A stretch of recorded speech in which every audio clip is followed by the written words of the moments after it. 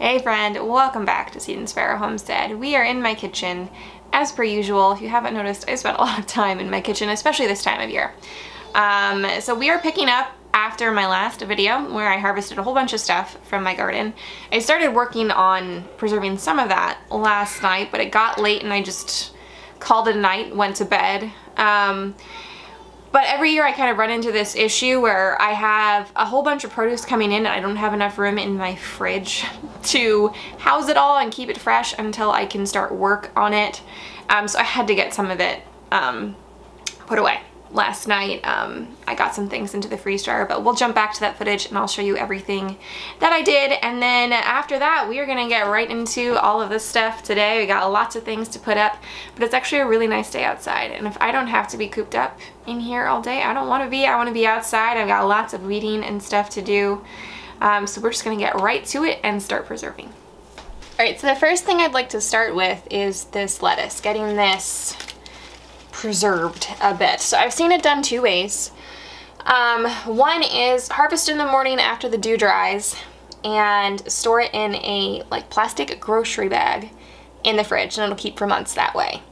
Not washing it or anything, right into the fridge.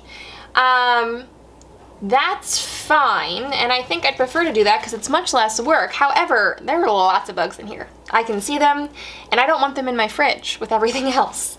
So another way that I've seen it is to wash them and put them in between layers of paper towels and um, roll it up and put it in the fridge that way. So that is how I am going to do it, at least some of this. This is a lot of lettuce, and if I can't give it away, then we're at least gonna just go give it to the chickens. But I'm gonna try and preserve some of it in the fridge. I've read and heard from other people that it can keep for a few months in the fridge. So maybe we'll get a few salads out of all this lettuce. So I've seen this method done quite a few times over the last month or so on various social media platforms. And whenever I do like a Pinterest or Google search, this is what shows up for keeping a lettuce fresh longer. I've never done it before because we've always just been able to eat through all of our lettuce. So I will let you know how this turns out because of me not being able to eat it this season. We have a surplus and I always fall into the trap of growing all of the things and all of the varieties because they look pretty. They look pretty in the garden. I mean, who doesn't love a cute little lettuce patch with different colors? I do. so I grew probably way too much for us to begin with, and then I couldn't eat it. So we're going to see how this method works, and I will keep you posted. So all I have done is taken some sheets of paper towels, layered with lettuce, more paper towels, repeat two or three times, roll the entire thing up, and we're gonna put it into plastic Ziploc bag to keep in the fridge. I did put it in the crisper drawer, and we're gonna see how this does.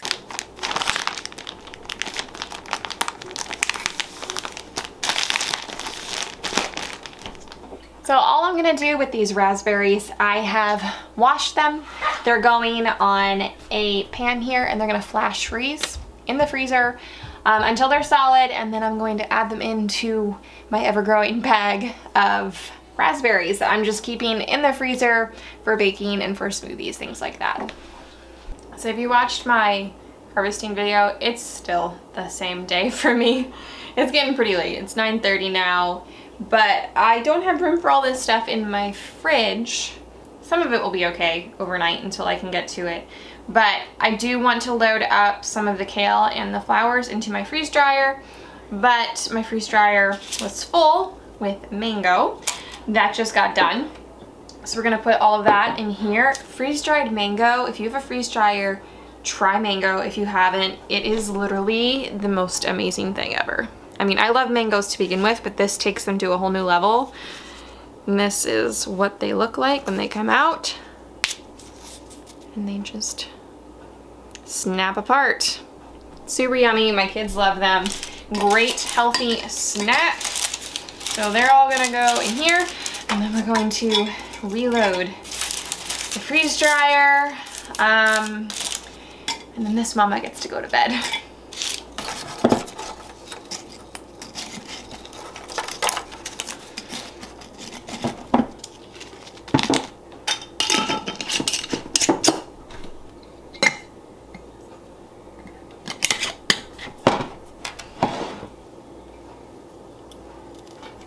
So I am just working on getting all of my flowers onto my freeze dryer trays here.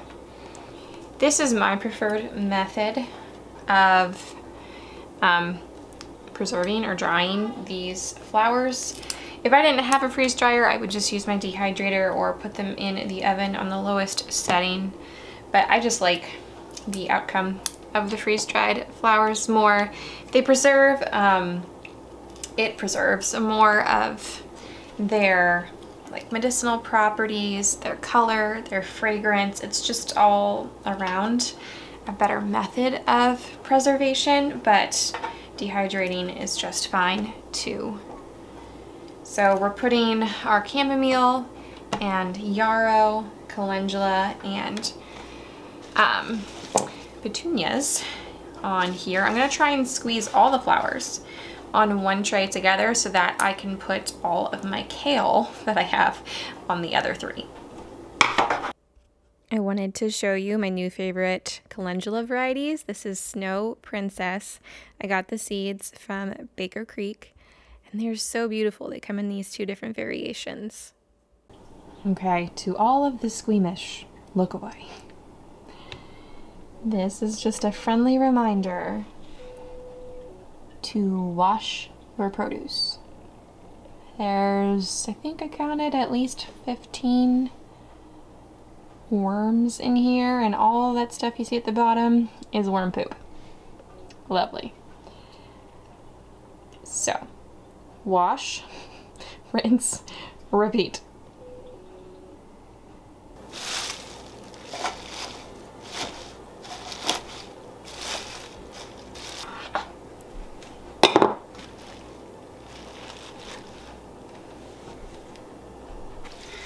All right, so sorry for the poor lighting. It is very bright this morning, which is lovely. The sun hasn't been out in a little while, but it makes for harsh lighting in here. Um, so the first thing I'm doing is soaking some Swiss chard. I've got some ruby red Swiss chard and some scarlet kale here. These two things actually did sit out overnight on the table. I just did not have room for them. And it's okay. They rehydrate pretty well and firm up in some water. So we're soaking them and I'm getting rid of all the dirt, bugs, that sort of stuff. And then I'm going to chop these up, get them set aside and ready for the freeze dryer. Currently the freeze dryer is still running with the kale from last night, but typically that doesn't take very long. So as soon as that opens up, these two things, we're going to go in there. Um, and I'm just realizing there's Thomas Puzzle in the background. My house is pretty messy right now, so excuse the mess. That's what happens this time of year. And I've just learned to give myself some grace because priorities have to shift in certain seasons. And right now, um, I don't want to be wasting, you know, things in the garden because I'm too worried about everything being put in its place in my home. Like, it's not that bad, but it's also not super tidy either. Um, but as I have time today, like in between some of these projects, I'm waiting for something to open up and I've got some downtime, it is a little bit of a priority to at least clean up, put some things away. I've got piles of laundry that turn into mountains very quickly and lots of stuff needs to be put away. So I'll be working on that today too. All right, we're chopping up the Swiss chard. Now I harvested this a little early, so the like stalks, the stems weren't super big. Um, sometimes I'll cut them up and I'll separate the stalks from the leaves. The stalks, um, I mean everything's edible, but the stalks take a bit longer to cook, so if you're using both, sometimes it's a good idea to throw in the stalks a bit before um, you throw in the leaves.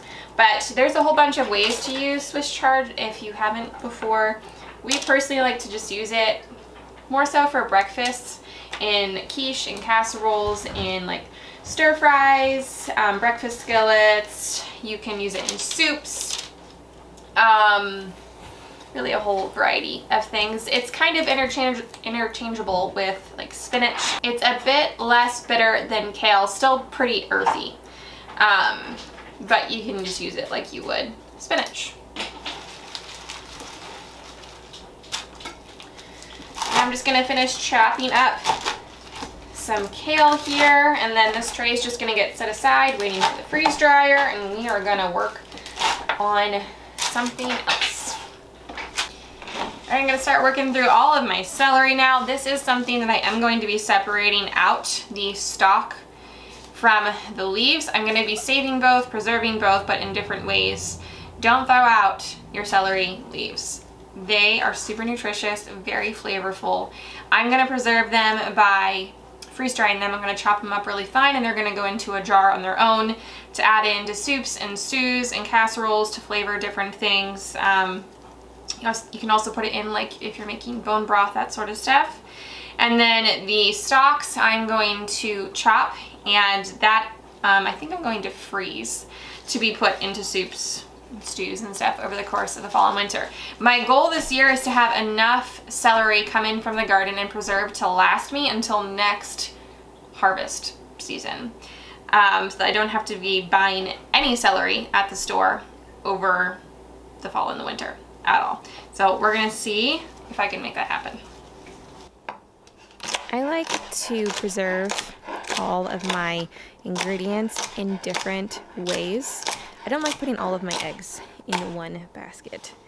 I think that accidents can always happen and things that you just can't prevent. And, you know, sometimes a freezer could go or a canning shelf could fall or maybe your freeze-dried food and we didn't seal it well enough and some moisture got in it. So I just like to have multiple methods of preservation in use at all times for the same things. That way I am covered all the time. We are going to be steam blanching the celery in batches for about two minutes. We are not going to be putting it into a water bath or an ice bath after. It's just going to go onto a cookie tray to cool off and then it's going to go into little baggies and into the freezer. I'm just gonna put a good handful or two in here. Pop our lid on our makeshift steamer and in about a minute I'll give it a stir and then we'll take it out at two minutes. All right, these are ready. So I'm just gonna put them over onto the pan to cool off and we're gonna keep working through them. So I'm trying to portion out all of my ingredients for the freezer into amounts that we can use within a week. Sometimes I'll pull things out of the freezer and I'll have a bit too much and it gets put in the fridge and sometimes forgotten about and I want to avoid that. So I'm thinking during the fall and winter months, I'll use celery in one or two batches of soup and or broth a week, and maybe in another recipe. So I'm thinking two cups will be plenty for one week. I use about a cup's worth in one batch of soup. So here I got eight cups worth of celery or four baggies and potentially four weeks worth of celery for us. All right, so hopefully you can hear me over my freeze dryer, but we are down in the basement and I am gonna work on getting this garlic cured. So it's way too humid here in our area to hang them anywhere outside under cover. Um, the garage isn't an option either. We have mice out there sometimes and I just don't feel comfortable putting any sort of food out there even though we've used traps and we have a cat, there's still mice. So I am using my grow light shelf here in the basement. I'm just gonna stick them through the metal shelving here. Make sure there's some good airflow between them. I'm leaving the roots and the leaves intact. And I'm just gonna hang them upside down for about three weeks or so until they're completely dried. I actually ended up with some fairly nice size heads of garlic, so I'm pleased with the harvest, even though it didn't work out so well for my soft neck garlic. I will take what I can get.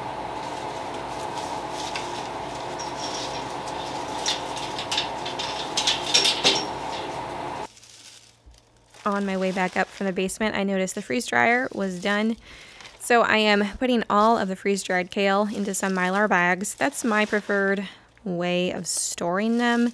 I store a lot of things in mason jars, but I have so much kale it would not be very cost effective to be continually buying those half gallon mason jars for all of my kale. So, mylar bags, it is. So, we are refilling the freeze dryer with some Swiss chard, some more kale, and I also brought up one of my freezer meals from the basement because on days like this where I'm preserving all day, I don't have time to cook. So, these are a lifesaver.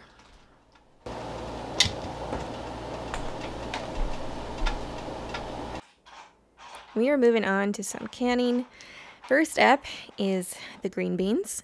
I'm snapping off the ends and then snapping what is left into about two inch segments. This is a super easy thing to start off with when pressure canning. All you have to do is prepare the beans and then you start filling the jars with them. This is a raw packing method, so they go right into the jars. And then we are just going to fill up the jars to one inch, a generous one inch of headspace here. And then we are going to ladle in some boiling water up to the one inch headspace.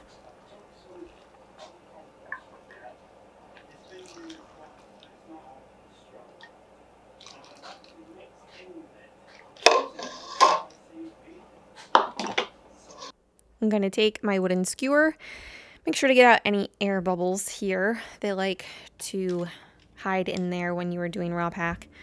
I'm going to push the beans back down. You may have to adjust and take some beans out after they start to float. You don't want any floating above your headspace of one inch. Readjust and measure, and then I am going to wipe down the rims just in case. I always make a good practice of doing that. Add on my clean ForJars lids and get the rings on to fingertip tight. Into the pressure canner they go. We're to make sure that this is locked correctly. I always triple check. They're going to process at 10 pounds of pressure for my elevation for 20 minutes for these pint jars. If you're doing quart jars, it's 25 minutes on to preserving the carrots. If you've been following my channel for any length of time, you've probably heard me say we don't care for canned carrots. I don't love the flavor or the texture after the canning process, so I'm not going to be doing that anymore. I'm going to stick to either freeze drying or freezing my carrots. So today we are going to be freezing them. I decided just to do it in slices, but I might do some shredded in the future. For all of the things that I have been freezing, I have been referring to Crystal over at the Whole Fed Homesteads book Freeze Fresh, and we're going to be steam blanching yet again. This time, though, we are going to be putting the steamed carrots right into an ice bath. After steaming, each batch goes in here and they just sit there until I have all of them ready. And then we're going to pour off all of the water and I am going to lay these out on a towel to absorb some of the water before packaging them up for the freezer. The same thing here, I'm thinking two cups per week will be good for us, so I'm putting two cups into each of the freezer bags. All right, so I know a few of you had asked on a few of my last videos if I would show what the flowers look like after they come out of the freeze dryer. So let's take a closer look. So here is a cosmic cherry petunia, freeze dried. You can see with the freeze drying process, it preserves the shape and the color quite a bit more. So there's that one. Here are some calendula out of the freeze dryer. They sound like tissue paper. So that's what those look like. Here's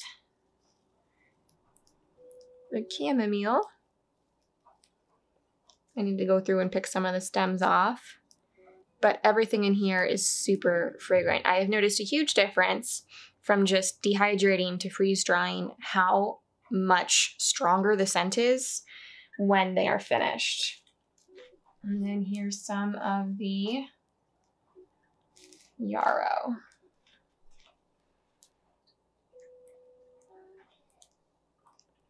Can't really see that one so well. Here. Not quite as vibrant there, but still a really nice preservation of these flowers by the freeze dryer. I store all of my freeze dried flowers in mason jars with oxygen absorbers until I'm ready to use them for my projects I have in mind, which most likely won't happen till later on in the season after I'm not so overwhelmed with preserving everything. Here's our celery leaves. They're going to go into a mason jar as well on to our final item from that big harvest. I'm going to make some pickled beets. So I've boiled these for about 30 minutes until the skin just slides right off. And I'm going to quarter most of these. I'll leave some of the really small ones whole. And we're gonna get our vinegar mixture here together. I am using one cup of water, two and a half cups of white vinegar, and one cup of sugar. And then we are going to use three tablespoons of pickling spice here in one of my nut milk bags, or you can just use a cheesecloth. And all of this is going to go onto the stove top, and we are going to bring this to a boil. We're going to reduce the heat then a little bit, allow this to gently boil for about 15 minutes, remove the bag of spice, and we're gonna add in our beets and bring this back up to a boil before adding them into our canning jars. The jars get filled with beets to a generous one half inch of headspace. We're gonna fill in the rest with the remaining liquid right up to that half inch headspace line.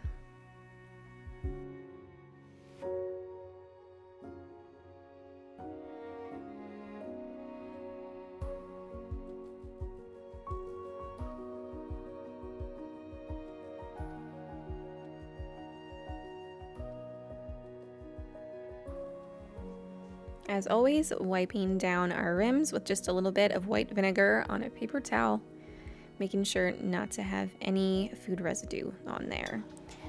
Adding on our new washed lids, our bands to fingertip tight. They go into a water bath canner for 30 minutes. And here they are all done.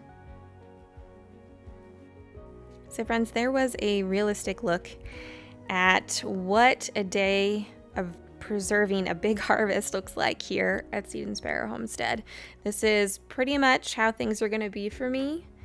Um, it will ease on and off with the amount I have to do throughout the season. Sometimes it'll be more than this, sometimes it'll be less, but this is just the season I'm in and I am thankful for it. It is a lot of long days and standing on your feet and working late at night, past, you know, when the kids have already gone to bed. And I always look back and thank my past self for all of the hard work I put in so that my family has good things to eat throughout the fall and winter months. So, thank you for joining me today for this day of preservation. I hope you enjoyed it and learned a few things. If you have any questions, feel free to ask me down below. I'll be happy to answer them. Have a blessed week, and I'll see you next time. Take care.